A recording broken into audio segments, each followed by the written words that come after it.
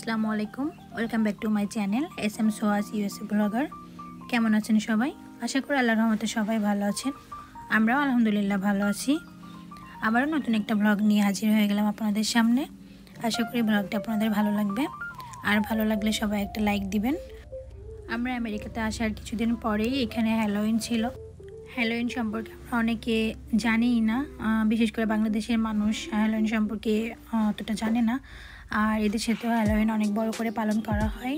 তো যাই হোক এটা হচ্ছে আমাদের ইসলাম ধর্মে অনেক বড় পাপ গোনা তো সেক্ষেত্রে তারপরেও সব বাচ্চারা হ্যালোইনের দিন বের হয় নানান রকম সাজে। সবাই ভূত, ভূতের মতো সাজে আর কি। তো আমার বেবিতেও ছোট, আশেপাশের লোকজনদের দেখছিল বের হতে। তো ওকে নিয়ে একটু বেরিয়েছিলাম হাঁটতে। তো দেখতেই পাচ্ছেন নানান রকম মানুষ, নানান রকম সেজেছে, অদ্ভুত অদ্ভুত সাজ সবার। আর এই দিনে বেবিরা হচ্ছে চকলেট কুড়াই মানে দোকানে হচ্ছে চকলেট বিল করে। আর বাচ্চারা গেলে তাদেরকে দেয়, তো এতে বাচ্চারা অনেক খুশি হয়ে যায়।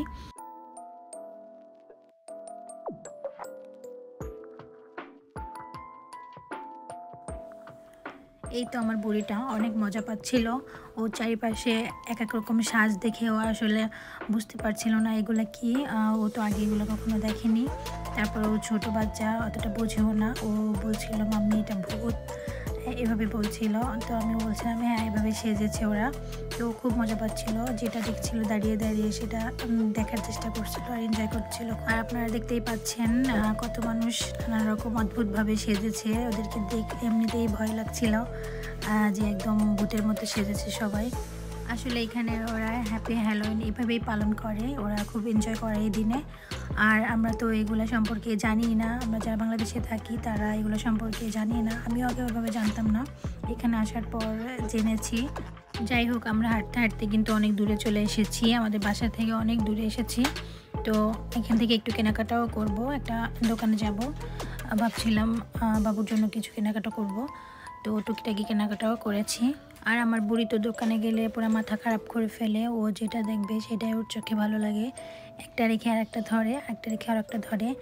তো যাই হোক, বাচ্চারা এরকমই হয়, সব বাচ্চারা এরকম হয়, আমি জানি। তো তারপরেও কিছু করার নেই, যেটা চাই সেটা দিতেই হয়। তো ওদেরকে বোঝাইলে ওরা একটু বোঝে আবার অনেকে আছে বুঝতে চায় না। দোকানে গিয়ে আমি ভাবছিলাম আমি একটু ভিডিও করব, তো সেটা ভালোভাবে পারছিলাম না, দেখতেই পাচ্ছি না আমার ক্যামেরা কী পরিমাণ নড়ছে। আমি দুঃখিত ক্যামেরাটা এভাবে নেওয়ার জন্য। আসলে আমার বেবি খুব বিরক্ত করছিল। যে বললাম যে, ও দোকানে গেলে পুরো মাথা খারাপ করে ফেলে, একটা ধরবে আর একটা ধরবে এরকম করে। তো যাই হোক, যেটুকু করেছি।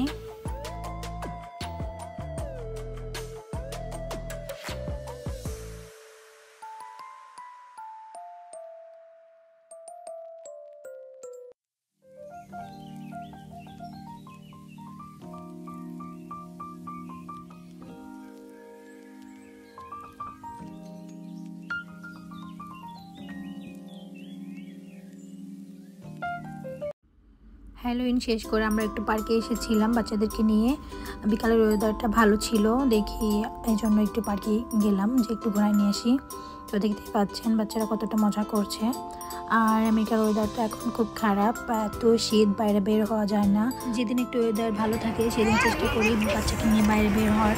কারণ বাচ্চারাও ভিতরে থাকতে থাকতে মধ্যে থাকতে থাকতে বোরিং হয়ে এই জন্য তাদেরকে একটু খোলামেলা পরিবেশ দেওয়ার চেষ্টা করি। আর পার্কে গেলে তো আমার বুড়ি দুই তিন ঘণ্টা, চার পাঁচ ঘণ্টা হয়ে যায়। তারপরেও সে বাসায় আসতে চায় না। সে পার্কেই খেলতেই থাকে। ও বাসায় আসতে অনেক কষ্ট হয় কি। ও বাসায় আসবে না, ও পার্কেই খেলবে, এরকম করে। আমি ওর বেশ কিছু পিকচার তুলেছি এখান থেকে। তো পারলে আপনারা দেখে নেবেন ভিডিও শেষে অ্যাড করে দিব। হ্যাঁ বসো।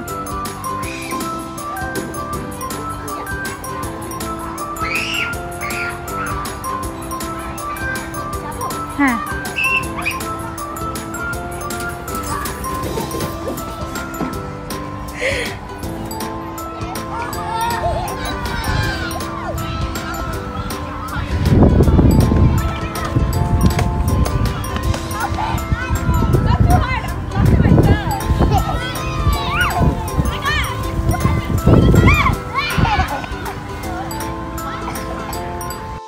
যাই হোক, আজকের দিনটা আমাদের অনেক ভালো কেটেছে। বিশেষ করে আমার বলি তো অনেক এনজয় করেছে আজকে।